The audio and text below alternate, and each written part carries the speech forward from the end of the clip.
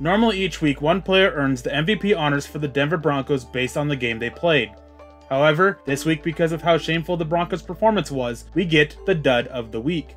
The winner of this extremely prestigious award goes to none other than quarterback Jeff Driskel. He got thrust into the game versus Pittsburgh and played admirably, but he was way in over his head versus the Buccaneers. There was a play in the first quarter where the look on Driskel's face was one of defeat and being lost. Denver tried to get him to bounce back, but he was broken beyond repair for the game, and they benched him eventually.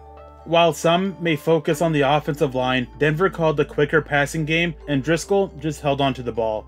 Each sack he took came over 2.5 seconds, and the average time to pressure was over 2.25 seconds. The line gave him time to execute the quick passing game, but he just got lost in the lights. Driskel wouldn't pull the trigger on throws, missed open receivers, and showed he isn't a quarterback in the NFL. His accuracy was atrocious that when he did make a good read, he couldn't hit his receiver. Multiple passes saw his receiver bail him out and make a good play out of something bad.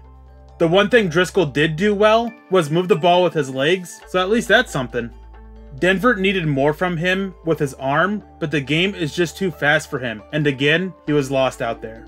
The play Denver got from the quarterback was the play of a defeated player, which was clear with his facial expressions.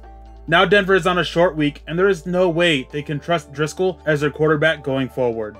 When a player gives up as Driskel did, that is typically the end of things for them, and his grade of 13.1 makes it clear he gave up.